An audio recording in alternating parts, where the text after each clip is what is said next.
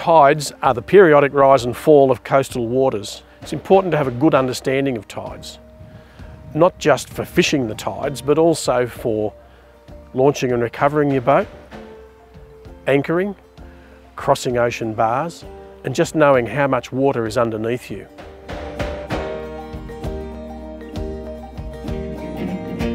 Tides are caused by the gravitational pull of the moon and the sun, and the moon is the primary gravitational force. Now variations in the moon's orbit mean that we get semi-diurnal tides.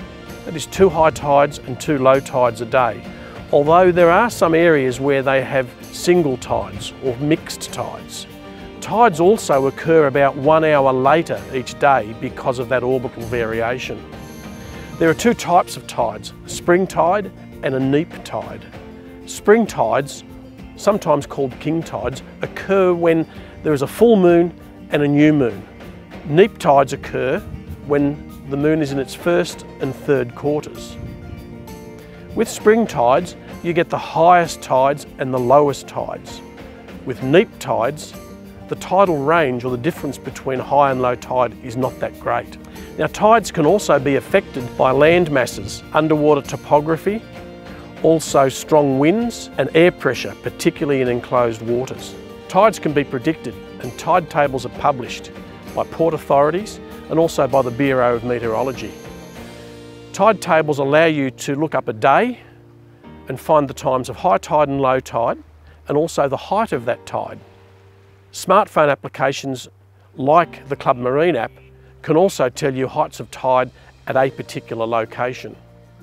With tide tables, you look up the month, then the day, and it will tell you the times of high tide and low tide, along with the height of that tide above a datum. Now datum is an arbitrary level below which the tide rarely falls. So generally speaking, the heights of tide have got to be added to any water that you have underneath you already. If the location you're boating in doesn't have a tide table for it, generally you'll find a list of tidal differences in a tide book. And you can apply that difference to a standard port to find out the heights of tide where you're operating your boat. There is a way of determining the height of tide at any given hour in a six hour tidal cycle. It's called the rule of twelfths and it's based on the fact that tides don't rise and fall linearly. They go in a sinusoidal curve.